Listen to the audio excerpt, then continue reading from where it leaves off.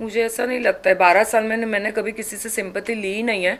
तो ये प्लेटफॉर्म पे आके मुझे सिंपत्ति की ज़रूरत नहीं थी। हम लोगों ने आपके लिए जो अ, जो पहले के मुद्दे हैं आपको जो प्रेस कॉन्फ्रेंस के टाइम में जो आपसे बातचीत हुई थी और उस वक्त के बाद काफ़ी आपको एकदम स्ट्रॉन्गर कंटेस्टेंट देखा गया था उसके बाद से कहीं ना कहीं बार बार जो पास्ट के जो मुद्दे हैं उसको खरीदने का ऐसा लोगों ने बोला कि बार बार उन्हीं सारी चीज़ों को रिपीटेडली कर रही हैं। लेकिन कहीं ना कहीं उसमें एक ऐसा भी एंगल देखने को मिला है कि लोगों का मानना था कि कहीं ना कहीं सिंपैथी कार्ड खेलने की कोशिश की जा रही है आपकी तरफ़ से उन मुद्दों को बार बार सामने ला के क्या कुछ कहना आपका मुझे ऐसा नहीं लगता है। बारह साल में मैंने कभी किसी से सिंपत्ति ली ही नहीं है तो ये प्लेटफॉर्म पे आके मुझे सिंपत्ति की ज़रूरत नहीं थी।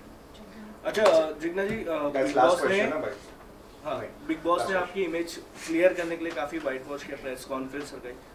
क्या आप उसका प्रॉपर उपयोग ले पाए हो? वो आप ऑडियंस को पूछना चाहिए।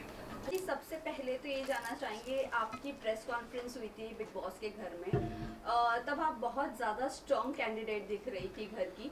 ऑल्सो आपने तभी पास्ट के बारे में बात करना यू नो मंजूर नहीं कर, किया कि आपको नहीं बात कर रही हैं। बट वही आप बिग बॉस के घर में आपकी पास्ट को रिकॉल कर रही थी तो क्या कहना चाहोगे आप? मैंने शायद दो तीन जो यहाँ पे आप लोग से पहले personal one to one interviews हुए, वहाँ पे मैंने पास्ट में बात करने के रीजंस दिखाए। बिग बॉस के प्रेस कॉन्फ्रेंस में नहीं बात करना, वो एक कॉन्शियस डिसीज़न था कि मुझे नहीं बात करनी थी। वो सडन प्रेस कॉन्फ्रेंस हुई थी, हमको पता ही नहीं था कि मुझे खुद को नहीं बताया गया था। जैसे आप लोग ने बोल, देखा होगा, मैं नाइट ड्रेस में ही आ गई थी विदाउट गेटिंग रेडी और घर के अंदर पास्ट में एक छः हफ़्ता, डेढ़ महीना कोई इंसान रहता है सत्रह लोगों के साथ में। हर कोई अपनी पास्ट की बातें शेयर करता है। So it was more on a lines of sharing अगर मुझे कोई रिंकू जी पूछ रही है कि क्या हुआ, नील पूछ रहा है मुझे क्या हुआ, कैसे हुआ तो ये एक स्टोरी और मेरे लाइफ लेसन्स एक्सपीरियंसेस शेयर करने का मुद्दा था। It was nothing to other than that जी, आपको लगता है कि आपको सब लोगों ने मिलकर कुछ लोगों ने मिलकर टारगेट किया है घर में या फिर जहाँ जहाँ पे आपको वोकल होना चाहिए था, वहाँ पे आपने उतना स्ट्रांगली अपना पॉइंट रखा नहीं, इसलिए आज आप बाहर हैं। दोनों में से आपको क्या लगता है? मैंने मेरे पॉइंट्स तो जहाँ मुझे रखने चाहिए थे, मैंने बहुत अच्छे से एकदम स्ट्रांगली रखे हैं। हाँ मैंने दूसरों लोग के जैसे चिल्ला के नहीं रखे, मैंने झगड़े नहीं किए कॉफ़ी के लिए झगड़ा, चोरी नहीं किया, पराठे नहीं चोरी किया। शायद सबको वही पसंद है, उसी में टीआरपी मिलती है तो हाँ मैंने वो नहीं किया। बट जहाँ पे मुद्दे थे जेन्यून जैसे मनारा और खानजादी के बीच में झगड़ा हुआ था, तब मैंने खानजादी के साथ मेरे कितने भी डिफरेंसेस रहे हो, मैंने खानजादी की साइड ली थी। कितना बार दिखाया गया है, वो मुझे नहीं मालूम। है जहाँ मनारा गलत थी मैंने मनारा की साइड नहीं ली तो वैसे काफ़ी मुद्दे थे जहाँ अभिषेक ने ट्रिप किया, अपना एंगर तो उसको कंट्रोल करने में हेल्प किया मैंने और रिंकू जी ने। और जो जो मुद्दे लगे कि ये जेन्यून है और घर को बिग बॉस घर को इफ़ेक्ट हो रहे हैं, वहाँ पे मैं खड़ी रही थी, मुझे ऐसा लगता है। क्योंकि तो जब ग्रेस पीरियड में आपका नाम लिया गया, बहुत हर्ट हुई स्पेशली अरुण से। और सबसे ज़्यादा आप ये कहती हुई नज़र आई कि आपने उनके अंडरवेयर धोए हैं। उसके बाद भी उन्होंने ऐसा किया है। क्या आप क्या सही था वो करना? मेरा करना या अरुण का करना? अरुण का भी करना और आपका उनके लिए ये सब करना। एक एक घंटे के एपिसोड में या 24 फोर आवर्स में आप लोग 24 घंटा तो एपिसोड देखते नहीं होंगे मेरे हिसाब से। एक चेन बनती है। मेन मेरे को बुरा नावेद के लिए लगा था जो मैंने स्पेसिफाई किया था किसी के साथ कन्वर्सेशन करते हुए कि it's not about me it's about Naved. मैंने देखा भी होगा कि मैंने सेल्फ नॉमिनेट किया था वो टाइम पे और नावेद को सेव किया था मैंने।